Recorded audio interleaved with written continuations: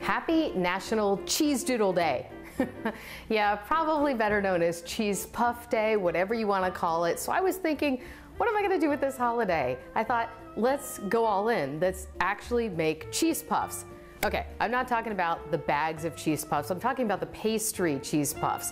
Sounds harder than it actually is. You just have to go through a little bit of a process because we're starting with pot dough. So that sounds pretty scary, right? A pretty fancy name, but it's not that hard. It all comes together really in one pot. Speaking of, I already have my butter melted, so I really want to get started before it browns. I mean, nothing wrong with brown butter. We just don't necessarily want it in this recipe. So I have one stick of butter.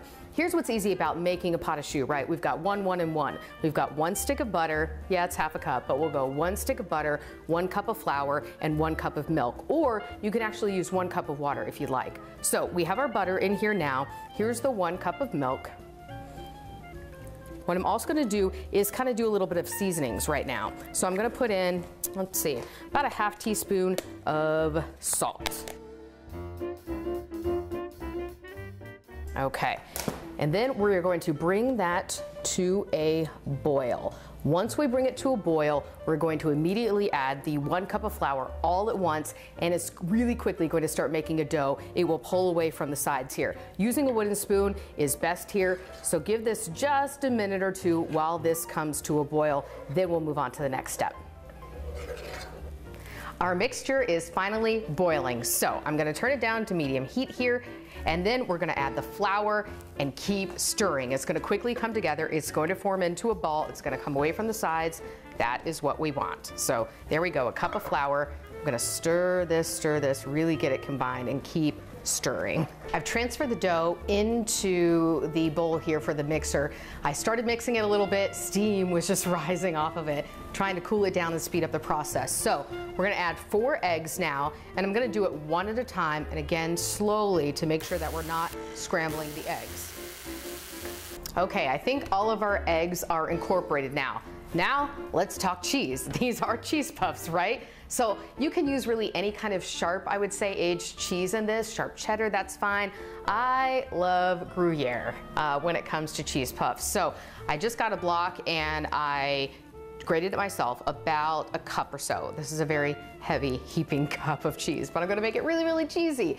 You definitely wanna do that. If you buy the store-bought shredded cheese, again, it has a little bit of a coating that makes it harder to melt and incorporate, so you definitely don't wanna do that. Our dough is looking so nice. I'm gonna sprinkle the cheese in here and really just mix it together, just get everything incorporated. Okay, we've got an ooey gooey sticky dough. That is what you want. Give me a moment to get it all together to make it a little bit easier to scoop, and then we'll put it here on our pan. You can line a pan with parchment paper or silicone mat. By the way, I have the oven preheating to 425 degrees. Before I pop them in though, we're gonna talk a little bit about how we're gonna bake them. But for now, let me get this dough together and we'll move on to our next step. Let's see now if we can scoop some of our cheese puffs out. Now, a lot of people will do this with a pastry bag or something like that. Absolutely. This just is a lot easier. Um, it takes less time. You get the same outcome. So these are, by the way, you know, a little bit of shortcut cheese puffs, which I am totally fine with. So what I'm gonna do is I'm going to get a cheese puff all along here. And then, remember we talked about it being National Cheese Puff Day and I mentioned these? I found sort of a fun way to give a little nod to that. We're gonna talk about that when it comes to a little topping once I get these all lined up on the cookie sheet.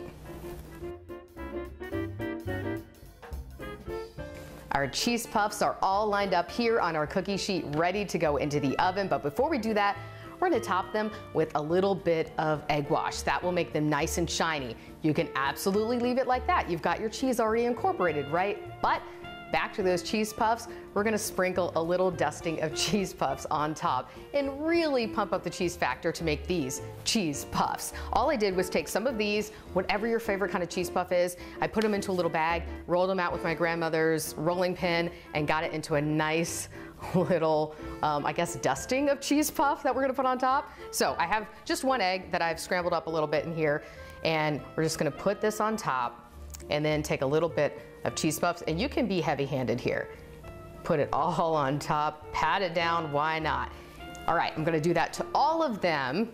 And then I'm gonna pop them into that oven, again at 425 for 10 minutes. After that, we're gonna crank it down to 350 and then bake it for another 15 to 20 minutes or so and keep an eye on it. But with this sort of dough that we started with, that pot choux dough, that's how you wanna bake it. That's how we're gonna get it nice and airy and fluffy inside.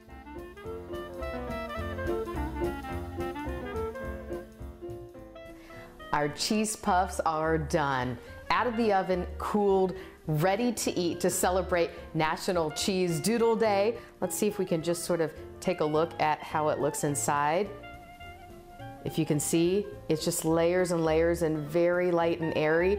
These are so good and scrumptious, they will just melt in your mouth. I hope you give them a try. These are great cheese puffs. Cheers!